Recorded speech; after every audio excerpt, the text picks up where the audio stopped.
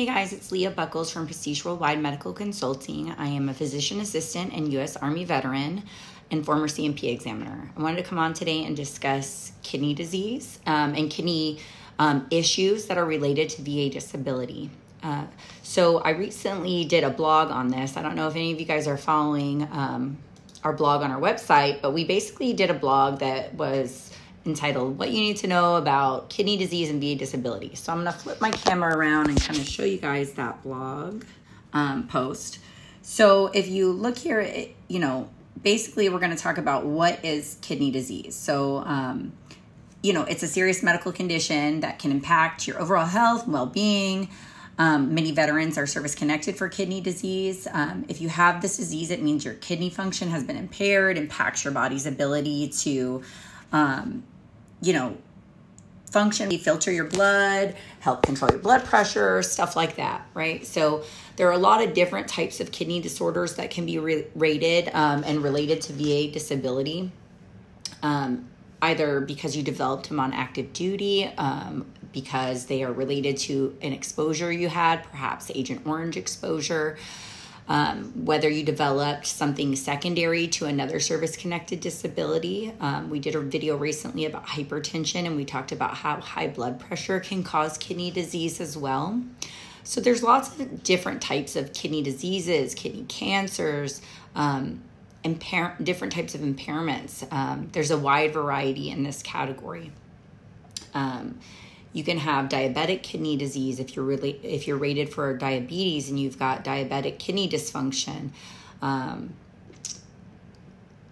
so basically, how does the VA rate um, kidney disease? So I want to take a look at two different things. So first of all, we talked about going to the 38 Code of Federal Regulation, which is like the VA's um, regulation that shows different disabilities, right? So this is on va.gov, right? So come over here and we're going to go to the genitourinary system, right? So 38 Code of Federal Regulation, Book C, Schedule for Ratings, okay?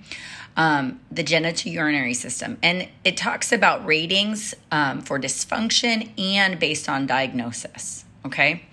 So if you open up both of these, which I have done in this other window over here, um, this is the rating for dysfunction. So, when, renal is a word that we use in conjunction with kidney dysfunction, renal dysfunction, kind of same thing. Um, so, it shows if you've got dysfunction, it shows the different percentages that you can get if you're on dialysis, for example. Um, you know, if you're having voiding dysfunctions, if you're having, you know, that might be related to um, BPH, if you have urinary frequency, obstructed voiding so these are all related to the function of the genitourinary system, right?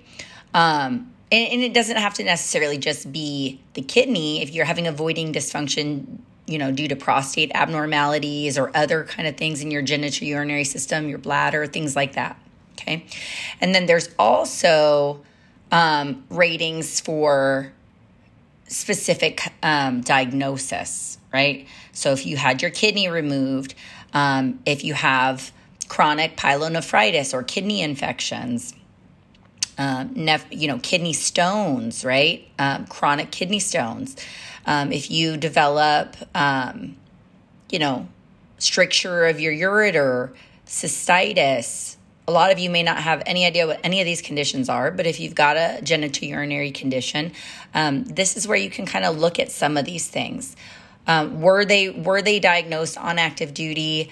Um, are they related to another service connected disability? That kind of thing is is important to try to figure out. To okay, so we talked about where to look at the ratings um, that you can get rated based on the function and also based on the diagnosis. Um,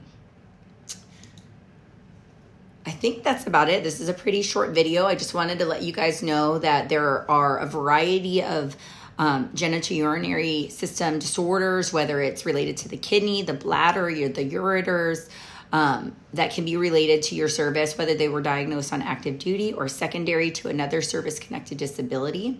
Um, also, it there are some presumptive um, you know, things relate, you know, if you've got prostate cancer related to Agent Orange, you might have some function abnormalities, right? You might have dysfunction avoiding because of your prostate cancer and things like that. So I hope this video was helpful um, on chronic renal disorders and genitourinary disorders. Um, please let me know if you guys have any questions, and I will be sure to hop on and answer them whenever I get a chance. Thanks.